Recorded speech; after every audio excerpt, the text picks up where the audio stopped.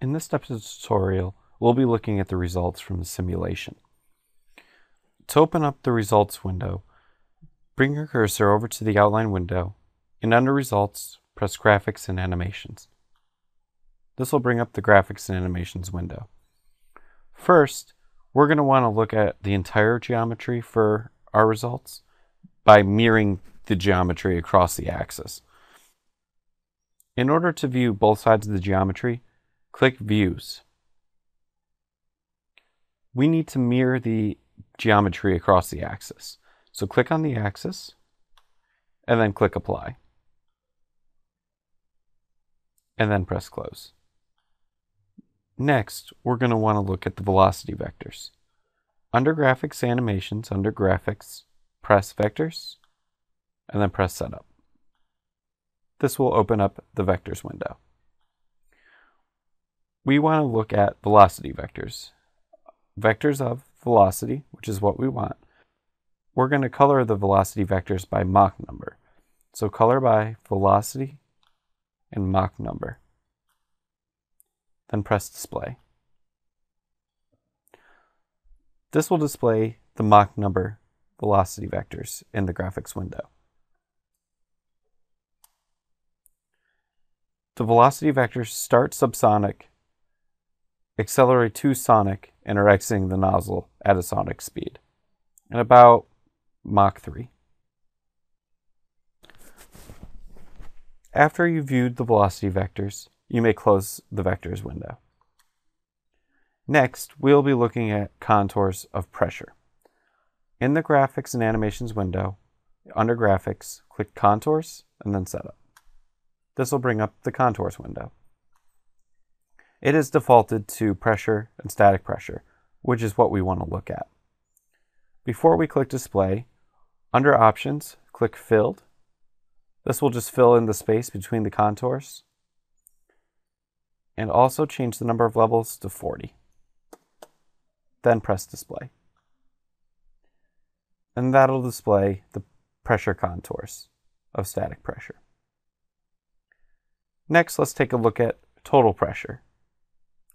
To change the contours from static pressure to total pressure, click the drop-down menu next to static pressure and click total pressure, and then press display.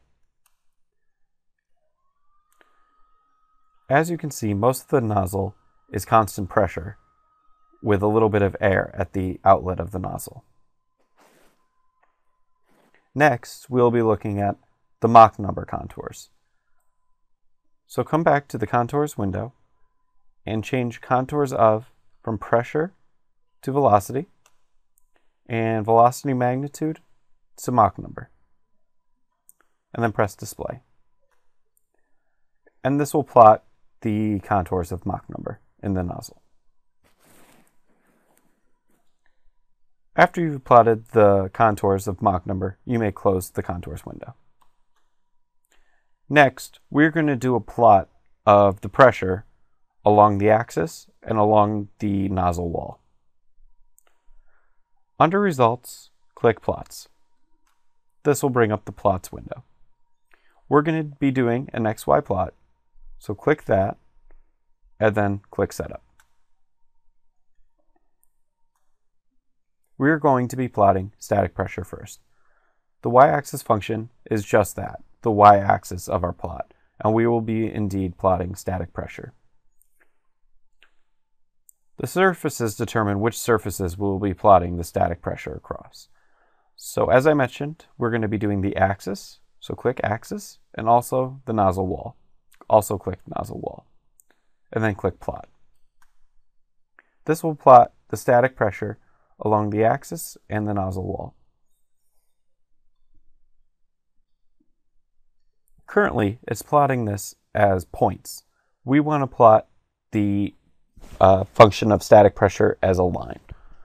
So in order to do that, come back to the XY plot window and click Curves. The curve number corresponds to which curve we're talking about. Curve 0 is the axis, and it's being plotted as white points. So we want to get rid of the white points. So under symbol, choose nothing. And we want a line, so under line style, under pattern, choose the line. And then click apply. We need to change the curve number, and this is the red points that are showing up on our curve, and repeat the same. And click apply.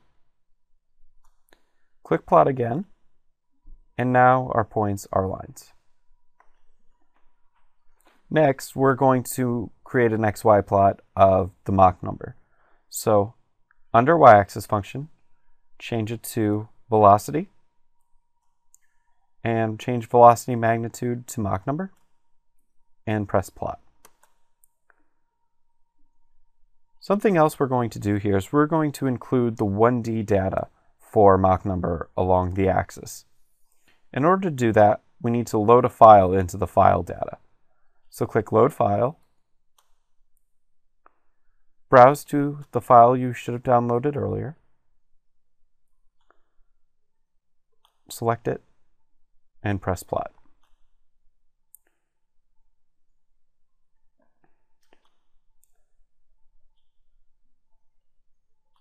As you can see, it plotted the green points, which is the 1D data, on the plot with our simulation results. In the next step of the tutorial, we'll be looking at verification and validation for the simulation.